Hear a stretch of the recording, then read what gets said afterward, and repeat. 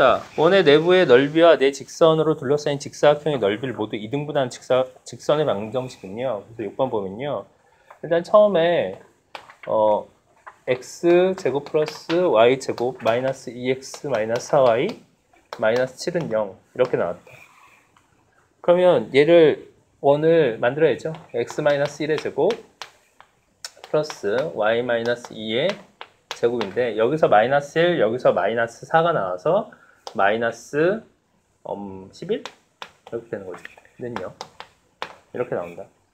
그러니까 얘는 는 이렇게 고쳐주면 반지름은 루트 11이고 원의 중심은 1,2라는 걸 알 수 있어요. 1,2 루트 11이면 3보다는 큰데 4보다는 작죠? 그러면 1의 제곱 12야? 왜?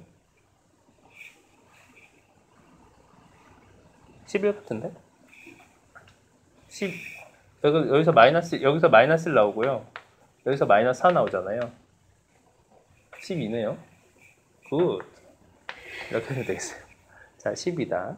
그래서 어, 얘는 길이가 어떻게 돼? 12면은 2루트 3 정도가 되겠어요. 근데 여기 여기까지 길이는 1, 2니까 1, 2는 4, 5, 루트 5 정도 되니까 뭐 잽이 안 돼서 훨씬 더 이렇게 원이 그려진다 치고 그 다음에 어, x는 마이너스 6 x는 마이너스 6이면 마이너스 6이면 한 이쯤?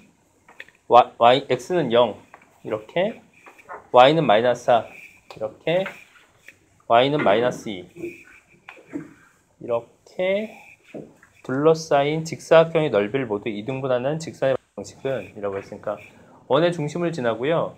이 사각형의 대각선의 중심을 지나면 돼요. 대각선의 중심. 그러니까 그럼 요, 얘를 구하시면 되겠네요 사실 이 반지름 구할 필요가 없었네 얘는 2,1이고 아, 1,2고 얘는 몇이야? 얘 중점은? 얘 중점은 몇이니? 여기는 마이너스 3이고요. 그 다음에 여기는 마이너스 3이네. 마이너스 3, 마이너스 3. 여기다. 그래서 얘 두 점을 지난 직선의 방정식 구하시면 되잖아요. 그래서 1 플러스 3 음, 2 플러스 3 x 마이너스 플러스 2는 y다. 이렇게 구하시면 되겠다. 자, 그럼 어떻게 되지? 4분의 5 x 마이너스 4분의 5 플러스 2니까 4, 2, 8이니까 플러스 4분의 3 이렇게 나오네요.